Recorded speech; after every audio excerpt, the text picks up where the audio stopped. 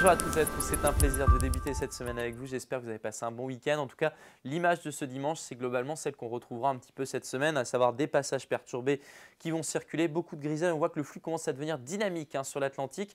Et avec cette deuxième annulation, on voit que le vent également euh, commence à se renforcer avec ces dépressions qui se creusent un petit peu plus au sud. Et il n'est pas impossible qu'un coup de vent nous concerne à un moment de cette semaine.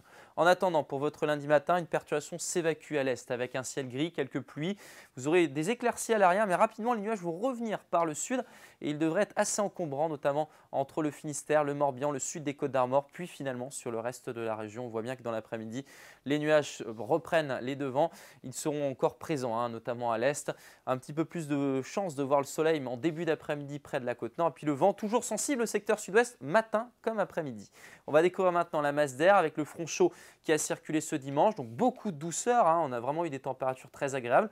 On aura quand même une baisse hein, qui sera constatée pour ce lundi.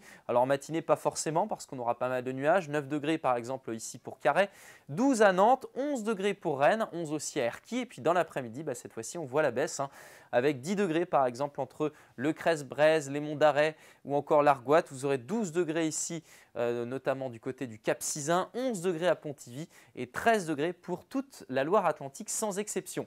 On va maintenant euh, donc voir votre tendance, voir ce qui va se passer un petit peu au-delà de ce lundi. Pour mardi, donc on retrouve un ciel assez encombré, des passages nuageux, des pluies assez soutenues sur l'ouest.